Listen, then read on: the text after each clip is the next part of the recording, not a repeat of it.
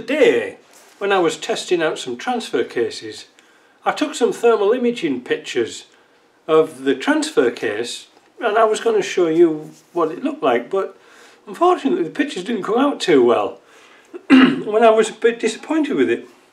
So this was my FLIR C3 oh C2 sorry uh, thermal imaging camera. What was going wrong with it I think it's the internal batteries dying it's it's a sort of a sealedish type unit but I don't know what was going wrong because it's supposed to take a stereo picture, one as a thermal image and the other one as a black and white picture. So you can compare the two and it wasn't doing that and it was doing all sorts of bizarre things. If it didn't have the, uh, you know, the battery pack or battery power bank plugged in it wouldn't start up. So I thought well this is high time I might have to get a new one. Um, I bought this eight years ago and this was over a thousand dollars eight years ago. So obviously I'm in the market for looking for something. And um, I was perusing internet and, and all these companies you know all over the place you know sold thermal imaging cameras and there seems to be quite a few now. And one of them was Topdon now I wrote to Kyle at Topdon and I says listen what's your um, what's your product like compared to a FLIR? He says, I'll send you one. And he did. And it just came this morning. Here, I haven't even opened it yet. So I thought I was over the moon with that. So, because I do, when I need a thermal imaging camera, I really do need one. So we're going to open it up and let's have a look. Now it's not going to be a really professional carry on, but we'll see how it goes. I've got that wire in the way, but never mind, that's, that's amateurism. So let's have a look. Because this apparently plugs into the bottom of your smartphone. Now that is neat. And apparently there's a version for an Android system there's an, and, and there's a version for an Apple system. It's called a TC View. TC View. So let's have a look and see what it's like. Ooh. box in a box, think. well, we've got an instruction sheet. Do we, is it one of these self-explanatory things? Oh, look at that. That's easy to work out, isn't it? Look at that. It's all, uh, it's all there. So, what we've got to do is PC Android Oh, wait a minute, let's have a look at this. I think we need to go to Google Play and download an app for it.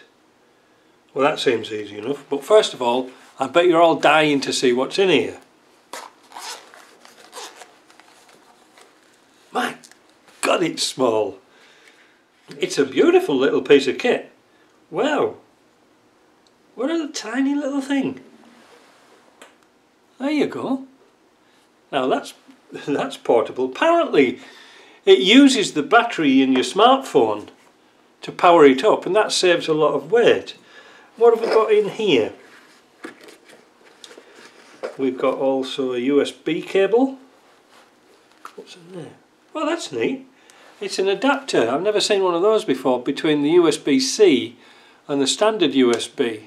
So, uh, and a female USB and a little cleaning cloth. Now, I might have to pause this video just here and download this app and see how it works.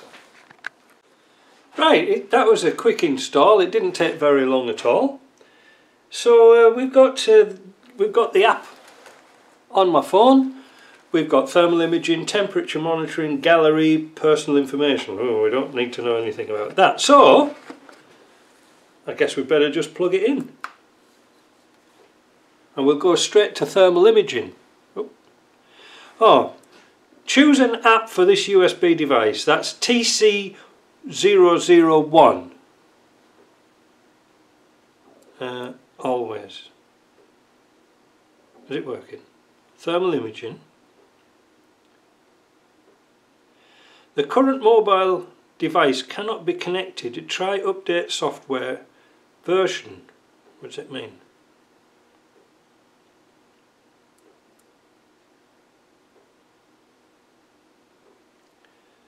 Develop to 14 Download, connect, hassle-free quick start.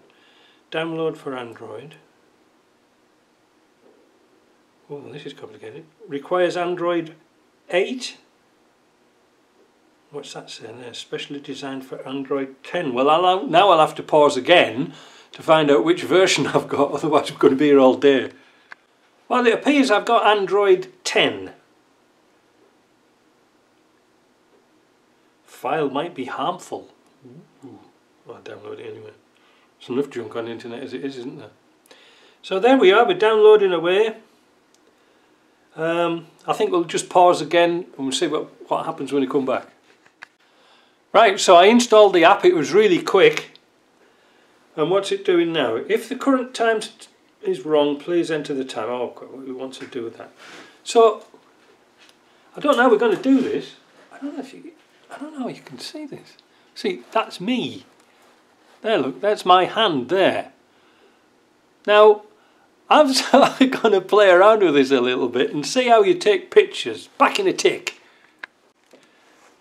Well, I tell you something, I'm impressed. It's got lots of features on here, but if you look at here, you can see me here. Look like a clown. You can see my nose is cold because I've got no heating on. Turn the heating off now. But you can see uh, in the crosshairs in the middle, it's looking at my back door, and you can see how cold it is. But you should also be able to see a, a temperature reading of the hot, hottest part and of the coldest part too. That's a really neat piece of kit. So many more features, I mean, in, like I say, in eight years things have moved on tremendously. Now, I was playing around with this, and uh, this will take film as well, movies, which is brilliant. So you can see things when they're moving. That that was wasn't available on my old system. Um, so it'll take stills, it'll take films and, and, things like that, which is really, really good.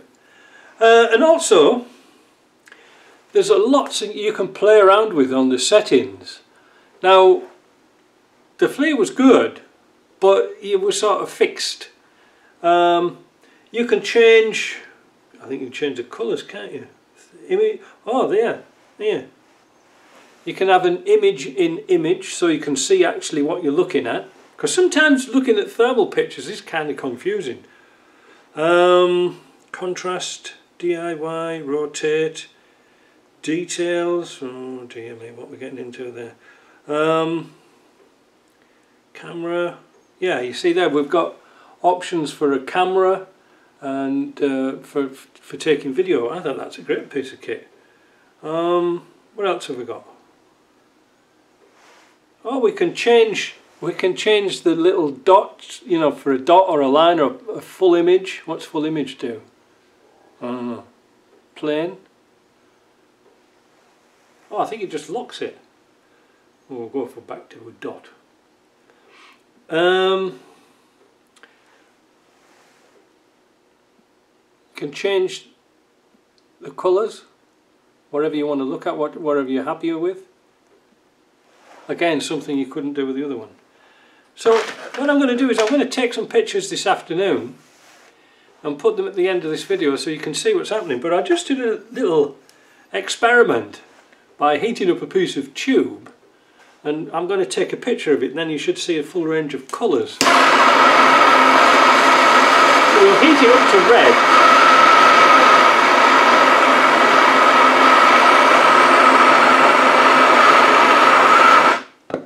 and we'll see what it'll take a picture of. Alright, so back again, just a quickie. I downloaded all the software for this, um, everything for the PC, and I took this upstairs with a cable, and that's why it's got a double end on, and uh, thought the pictures were in here. Wrong.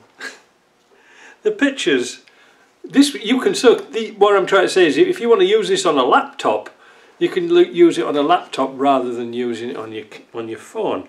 So I was looking all over for the pictures, and there they are. They're in, they're stored in your telephone. This is even better because now if you want to send these by email or you know pictures to anybody you want, uh, you can instantly send them.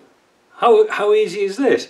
Now I think the price of this was about, two, oh wait a minute, not the price of that, the price of this was about 360 odd dollars, but it's still a third of the price that I paid for this one. It's practical, you can carry it around with you, uh, it's a pretty tough little cookie. But like I said, it, it's very versatile, knowing that you can plug it into your laptop because then you get a bigger screen.